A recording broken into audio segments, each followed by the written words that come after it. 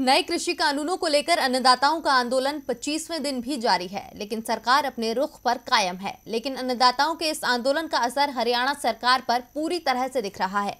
और इसी मुद्दे पर शनिवार को हरियाणा के मुख्यमंत्री मनोहर लाल खट्टर ने केंद्रीय कृषि मंत्री नरेंद्र सिंह तोमर से मुलाकात की। तो क्या रहा मुलाकात का असर? देखिए इस रिपोर्ट में। अपनी मांगों को लेकर अन्नदाताओं का आंदोलन लगातार जारी है। दिल्ली की ठिठुरन भरी सर्दी में अन्नदाता अपनी मांग को लेकर अड़े हुए हैं और उनकी मांग को लेकर विपक्ष भी सरकार को घेरने का मौका नहीं छोड़ रहा है। लेकिन इस पूरे आंदोलन का असर हरियाणा सरकार पर साफ़ दिख रहा है। जहाँ सहयोगी पार्टी इस मुद्दे पर हल ना निकलने को लेकर सरकार से अलग होने की बात कह रही है, जिसकी वजह से हरियाणा के सीएम मनोहर लाल खट्टर के माथे पर चिंता की शिकन साफ़ नज़र आ रही है। और इसी के मद्देनजर शनिवार को हरियाणा के मुख्यमंत्री मनोहर लाल खट्टर ने केंद्रीय कृषि मंत्री नरेंद्र सिंह तोमर से मुलाकात की। दोनों नेताओं ने कृषि कानूनों पर चर्चा की, जिसके बाद मनोहर लाल खट्टर ने कहा कि मेरा मानना है कि अगले दो तीन दिन में सरकार और अन्नदाताओं में बात हो सकती है।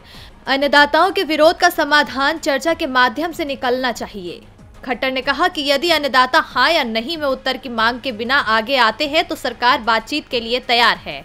वहीं दूसरी ओर एक अन्य नेता बलबीर सिंह ने कहा कि अन्नदाता तब तक अपना विरोध प्रदर्शन समाप्त नहीं करेंगे जब तक उनकी मांगे पूरी नहीं हो जाती।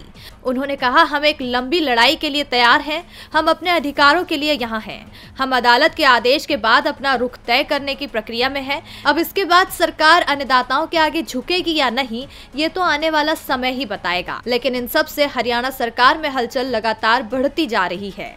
डीबी लाइव की रिपोर्ट।